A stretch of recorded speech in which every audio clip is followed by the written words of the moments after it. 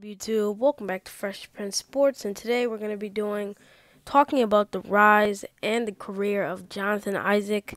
If you're new here, please hit the like subscribe button and comment down below any other player you guys want to see and check out all my other videos. So, yeah. First off, if the 2017 NBA draft has taught us anything, it's that the stars can emerge from anywhere on the draft board you know, guys like Jayson Tatum, who went number three, John Donovan Mitchell, who went number 13th, and Bam Adebayo, who went number 14th, have already blasted off into the NBA elite atmosphere. You know, they're already all stars. Um, not to mention, you know, numerous others from this draft class have helped, you know, their respective teams grow. But one name has seen a little mention since his debut in, in the NBA three seasons ago. A name that should be on everyone's breakout list his name is Jonathan Isaac, a man set back by injury but but destined for an even larger comeback. So, Isaac first attended Barron Collier High School in Naples, Florida during his freshman year and sophomore years. In his junior and senior year, he attended the International School of Broward in Hollywood, Florida. However, as a result of wanting to be reclassified as part of the high school class of 2016, Isaac also attended IMG Academy, which everyone knows, for what was considered to be a postgraduate year in 2016. As a senior in 2016, he averaged 17 points per 17.6 points per game and 10 rebounds per game, um, while leading IMG to a 21 to 10, 21 and 10 um, overall record. Um, in his high school career, he grew six inches from his freshman year to his sophomore year, going from a combo guard to you know a combo forward. He is today. Um, so yeah, um, on July. oh wait. Oh yeah. On July 5th, Isaac confirmed that he was going to commit to Florida State after high school. Um, after senior year of high school. Uh, on February 5th, 2016, he announced his intention to possibility to his intentions to of testing the possibility of entering the 2016 NBA draft as the first American um, postgraduate to jump directly from high school to NBA draft since 2005. He is also considered a prospect um, that could have been taken in the middle of uh, or late first round had he, you know, committed to it. Uh, four days after making that announcement, however, Isaac confirmed that he wasn't going to enter the 2016 draft and actually, you know, go and play for Florida State for the 2016-2017 season. Before the 2016-17 season um, began, Isaac was considered a preseason watch for the Karl Malone Award uh, in college basketball. On November 15th, in the second game of the season, he record 20 points, 20 points in a 99 to 78 win over Iona. Isaac would record his first double double double of the season with 14 points and 10 rebounds, 10 rebounds in a win over Detroit on November 20th. Um, he earned the ACC Freshman of the Week award for his performance from November 15th um, to November 21st in 2016. Um, and yeah, he just played really well.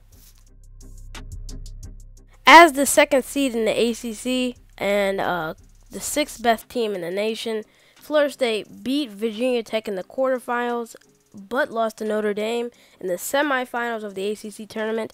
Um, his team then proceeded to the NCC, NCAA tournament, where they were seeded third in the West.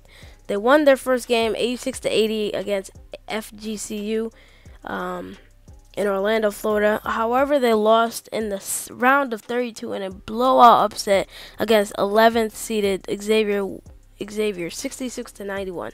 Isaac scored just 25 points in two games in his NCAA tournament career.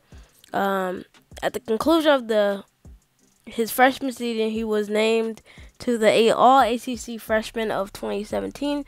In addition to that, Isaac announced that his intention is to forego his final three years of college eligibility and enter the 2017 NBA Draft, where he was projected as a lottery first round pick. He was the second player in Florida State history to go uh, you know, be a one and done prospect behind uh, Malik Beasley in 2016, a year before Isaac went to the draft.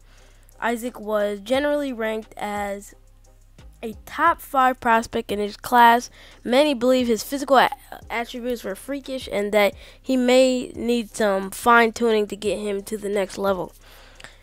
Um, Jonathan Isaac was drafted sixth overall by the Orlando Magic in the 2017 draft. On December 28th, he was ruled out with a right ankle sprain.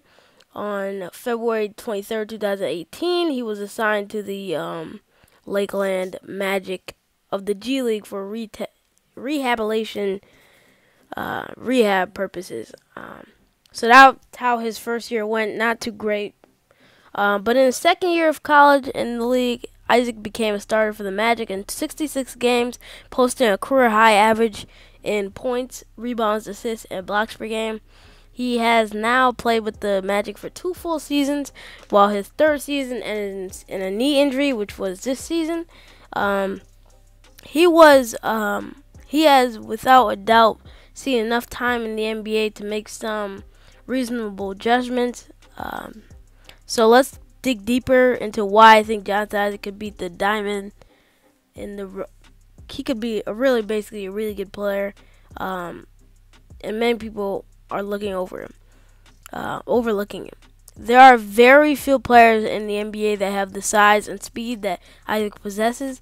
Isaac measurements is 6'11", 210 with a 7'1 wingspan. Not only does he have the size, but he has the quickness to guard nearly every position on the court aside from you know, Kevin Durant and Ben Simmons. Uh, I can't name many players with that type of size that can guard one through four. It's some pretty good company to fall into. There are numerous players that come to mind when takes the core about, but Brandon Ingram is certainly the most comparable for me. The wingspan mixed with the speed of a guard is something that obviously isn't teachable, but is valued with you know valued in the game today. Uh, many were hesitant to see Ingram potential as a player, especially after his rookie year where he averaged just 9 points off of 40% from the field. But he has blossomed in the past six months and has become a cornerstone uh, piece to New Orleans' future. I think Jonathan Isaac can have the same story too. Uh, certainly, size with with no skill means nothing, but Isaac doesn't lack either.